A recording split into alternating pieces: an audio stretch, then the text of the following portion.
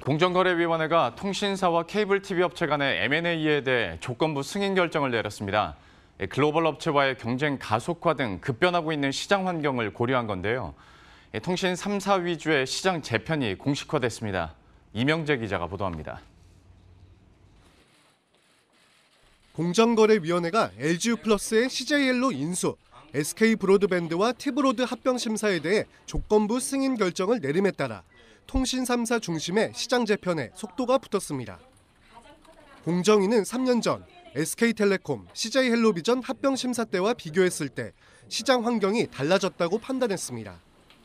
그러니까 유료 방송 시장을 비롯한 방송통신 시장의 지형이 변화하는 급격히 변화하는 이 시장에서 새로운 그러니까 전환점이 된다라는 점에서 매우 중요한 어, 그러니까 의미를 가지고 있다고 생각을 합니다.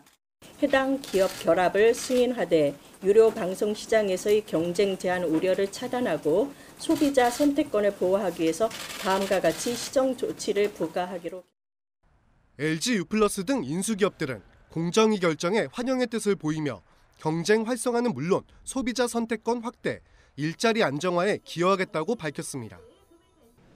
남은 과기정통부 방통위 심사를 통과하면 M&A 절차를 모두 마치게 됩니다.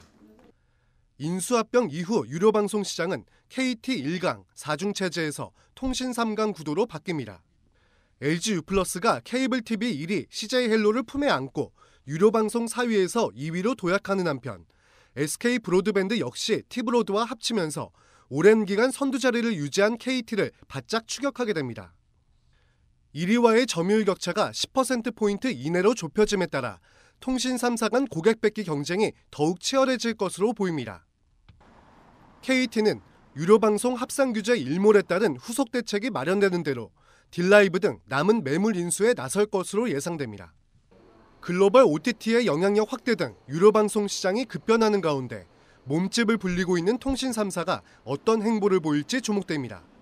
머니투데이 방송 이명재입니다.